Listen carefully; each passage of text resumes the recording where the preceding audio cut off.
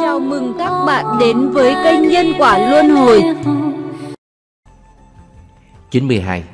Pháp Sư Quá Đông. Hòa Thượng học giáo Pháp tại Phật học viện Linh Nham Sơn, Tô Châu Và giảng sư là Pháp Sư Quá Đông, 60-70 tuổi. Pháp Sư và Hòa Thượng có thể nói là bạn hữu bất kể tuổi tác. Họ thường nghiên cứu Phật học với nhau. Hòa Thượng kể Vị Pháp Sư Quá Đông có dáng người rất lùn Nhưng tinh thần Ngài thật sáng suốt. Ngài là người Đông Bắc Và thuộc địa phương nào, tôi không có hỏi. Sau khi bái Lão Pháp Sư Đàm Hư Làm sư phụ xuất gia, Ngài đi Nam Phương cầu học.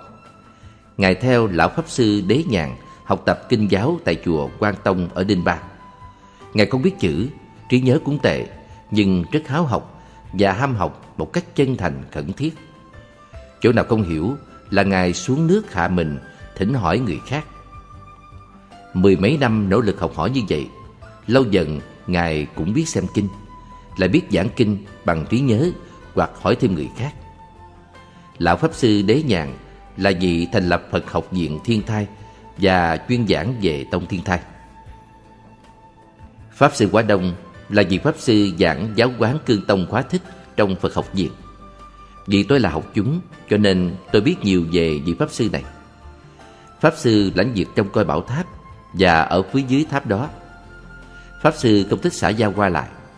Mỗi ngày ngồi trên võng dụng công tu hành Và cùng chúng lên chánh điện tụng niệm, Đi trái đường không chút bê trễ, Không chút lười biếng. Pháp Sư trì ngọ, Ăn rất ít Và không màng đến việc ăn uống.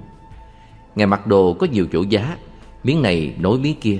Nhưng được giặt vũ sạch sẽ Pháp Sư và tôi có thể nói là dòng niên chi giao, tức là kết bạn không phân biệt tuổi tác. Pháp Sư đã sáu bảy mươi tuổi, còn tôi thì chưa đầy ba mươi. Chúng tôi thường thường cùng nhau nghiên cứu Phật Pháp.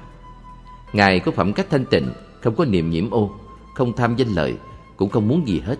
Cho nên Ngài rất tự tại, rất khoái lạc.